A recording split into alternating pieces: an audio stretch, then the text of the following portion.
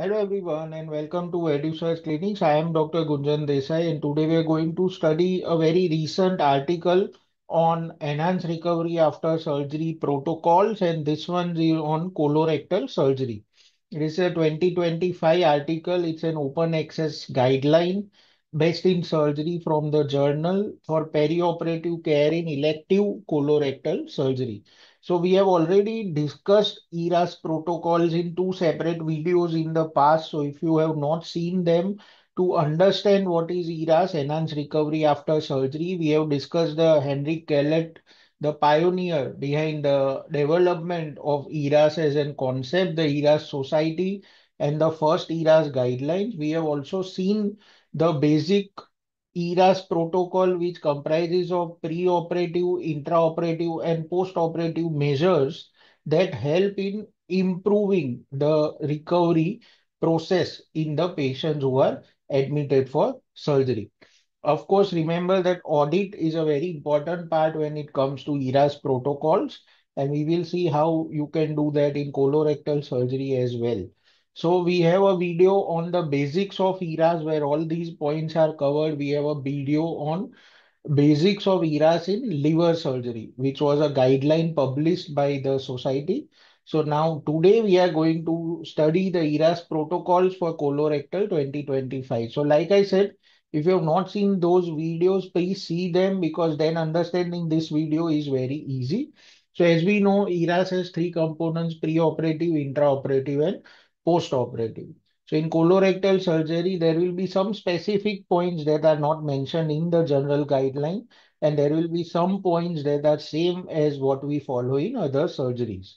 So going into the pre-operative workup, as is always now recommended, the patients need to be explained about the procedure, stoma, colorectal surgery. So stoma is a very important content when you are discussing with your patients the types of surgery that you are going to perform. So we have a video on colorectal surgery basics based on anatomy. You can see that as well. So the point is that if you discuss all these points with your patient before the surgery and counsel them, it will allay their anxiety and it may improve the post-operative recovery.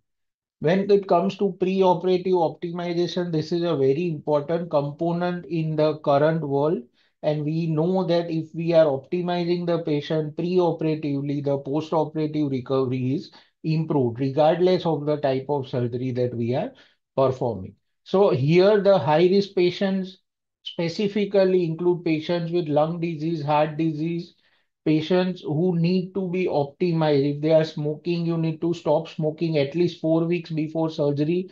Alcohol advised to stop at least four weeks before surgery. However, now for alcohol, the recommendation is turned from strong to weak, but for smoking, it is still very strong. So smoking cessation for at least four weeks, alcohol cessation, comorbidity management and building the patient's fitness before surgery is very important. There is no specific prehabilitation regimen that has been recommended, but we all know there are things like, say, walking some specific distance before surgery, climbing stairs, doing chest physiotherapy, and high protein nutritious diet. All these points are simple parts of prehabilitation. When it comes to anemia, this is specific for colorectal surgery, especially because these patients many times have bleeding per rectum and their hemoglobins many times less than 10, sometimes even less than 5. So they have recommended preoperative iron supplementation as well as erythropoietin, weakly recommended. Official is the preoperative iron supplementation if you have enough time before surgery important preoperative point is nutrition. Immunonutrition is now also a part of the current guideline, so you can focus on that as well. Routine nutritional screening using the MUST screening tool or any other tool that your department uses routinely. If you want to see nutrition, we have a podcast of five videos on nutrition where everything is covered from nutritional screening to enteral and parenteral nutrition. So you can go through those videos in detail. Nausea and vomiting prophylaxis is a very important component because this is strongly recommended and this definitely improves outcomes if you control it well. There are five different drugs that have been recommended in the guideline.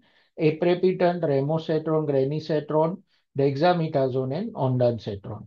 When it comes to sedation and anxiolytics, in pre-operative phase, it does not show any benefit. Thromboprophylaxis is more in intraoperative phase where we use intermittent pneumatic compression devices along with prophylaxis in the form of enoxaparin. Mechanical bowel preparation and now the recommendations are very clear that you can avoid it in colonic surgery but you can consider it in rectal surgery. And whenever you are using bowel preparation, only mechanical bowel prep is not going to benefit. If you are going to use it, you have to combine it with use of oral antibiotics.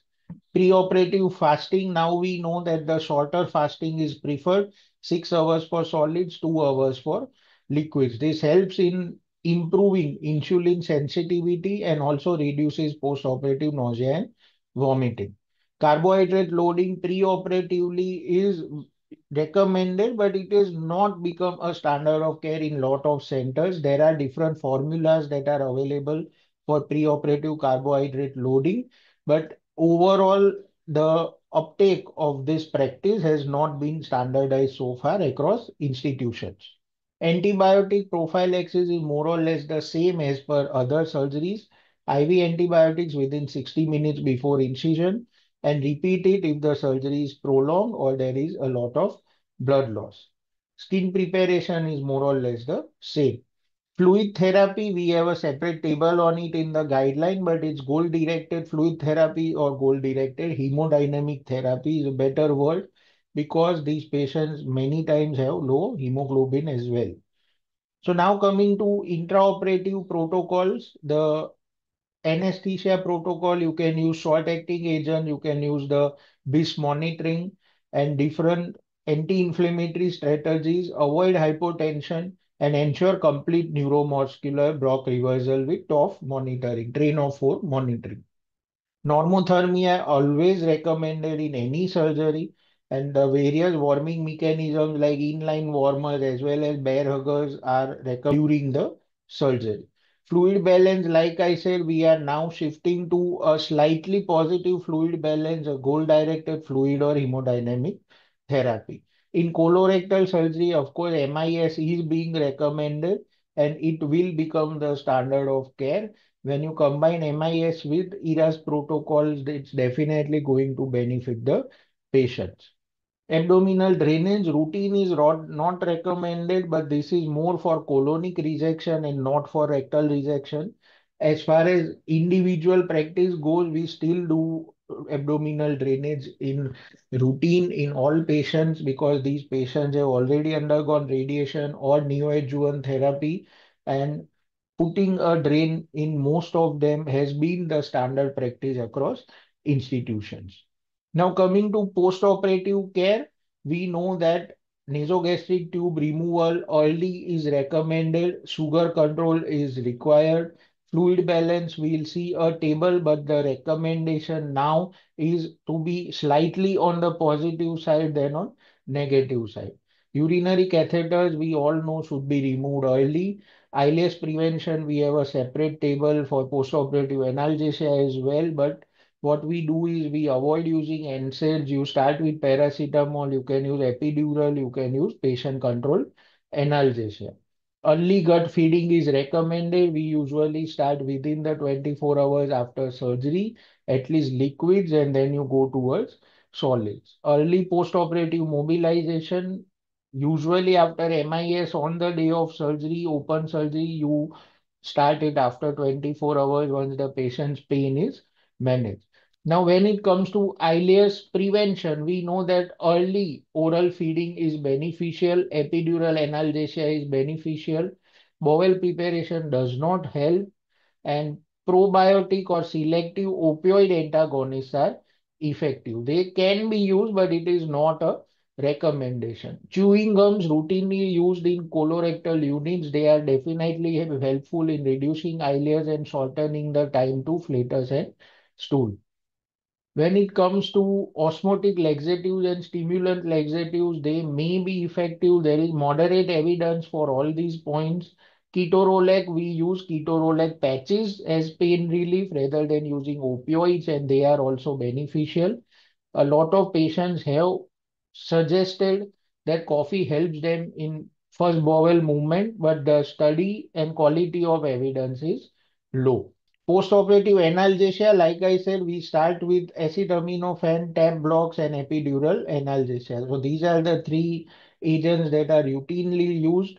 Quadratus lumborum block, not routinely used. Selective opioid antagonist is also not routinely used and not preferred also. NSAIDs and COX-2 specific inhibitors we have also been using, but limited quantity. The first line of analgesia is paracetamol. Epidural is routinely used in colorectal surgeries, and if epidural is not performed for any reason like delayed INR or spinal deformities, then TAP blocks are also very helpful. Like I said, when it comes to perioperative fluid management, the current recommendation is goal-directed fluid therapy or goal-directed hemodynamic therapy. It is supposed to decrease morbidity, especially in high-risk patients. So that is one area where this has benefited. Slightly positive fluid balance is the current recommendation. It is not that you restrict IV fluids on the day because this increases the risk of AKI as well as SSI, acute kidney injury, as well as surgical site infections. And there is strong recommendation. So restrictive fluid policy is something that should be avoided. And this is a strong recommendation. Probably the only strong recommendation is to avoid a restricted fluid policy. So what we follow is goal-directed fluid therapy or goal-directed hemodynamic therapy, where you monitor the patient for parameters of good hydration and monitor your fluid balance accordingly and based on that, keep it slightly positive rather than negative. So that is what is recommended. So that is in a nutshell all the components of ERAS when it pertains to colorectal surgery. Specific points include bowel preparation, antibiotic prophylaxis in colorectal surgery, counseling for stoma, a very important point, marking the stoma site, again an important point, Intraoperatively, use of MIS, minimally invasive surgery, use of drains, yes or no. Postoperatively, early removal of tubes, early mobilization, avoid opioids, stick to basics, and early drain removal once you are comfortable if you have put a drain. So basically, these are the points that help in the enhanced recovery protocols. Usually these days, the patients go home by the fourth or fifth day based on your centers and department's policy. Again, an important point if you are following all these protocols is to audit your data. Keep a record of how many patients you have done of ERAS. Remember that these guidelines are for elective surgery and this is because all of us have burned our fingers when you try to do ERAS in stage 4 patients. They are very different from the other age group. They have received neoadjuvant chemotherapy. The bodies are weak. And for some reason, stage 4 patients don't do as well on ERAS as the other group of patients. So elective colorectal surgery and personally not applying it to stage 4 patients is something that we have been following. Of course, you can check it with your department and the experience of the professors there and follow ERAS protocols accordingly. If you have any new findings, you should share them, publish data, review and reassess, and implement the findings that you feel are important in recovery of your patients. Thank you.